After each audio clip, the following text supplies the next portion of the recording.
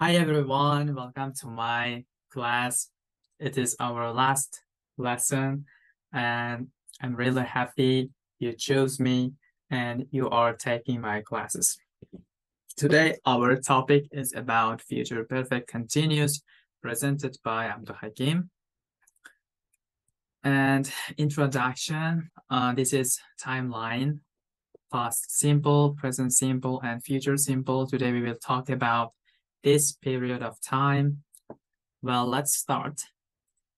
We use future perfect continuous to describe an action that will be ongoing and still in progress at an exact time in the future, like this time. This is ongoing action.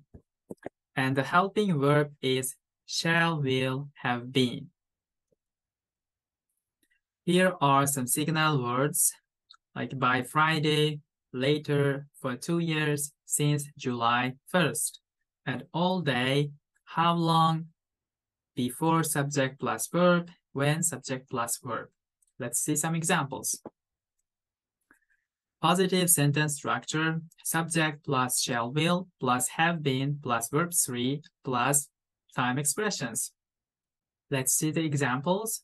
I will have been studying for two hours by the time you arrive. You will have been exercising for an hour by the end of the class. He will have been working on the project all day when she joins him. She will have been practicing the piano for a year by next month. We will have been waiting for the bus for 30 minutes before it arrives. They will have been living in the city for five years in June.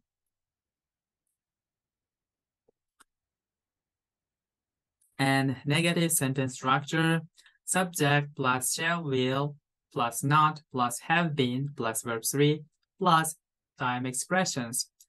Example, I will not have been waiting for too long when you arrive. You will not have been practicing the guitar next year.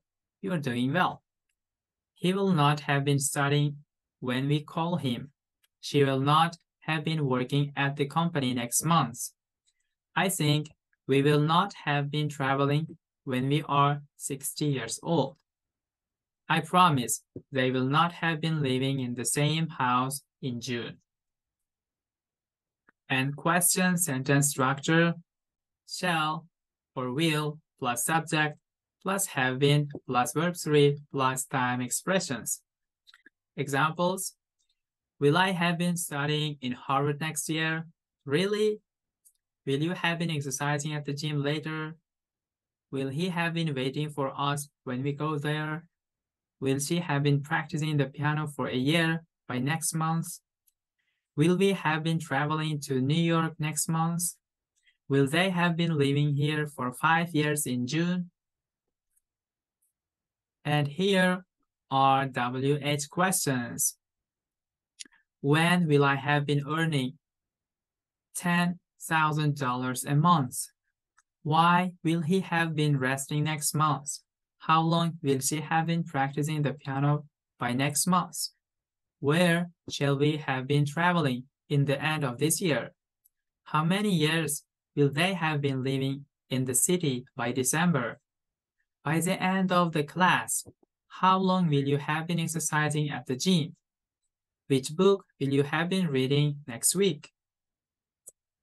And here, exercise time.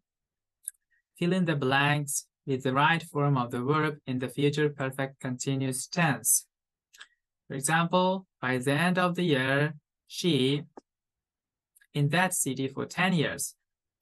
By the end of the year, she will have been living in that city for 10 years. And you will do the other sentence yourself. Check your answers in the next lesson. Thank you for your attention. Bye.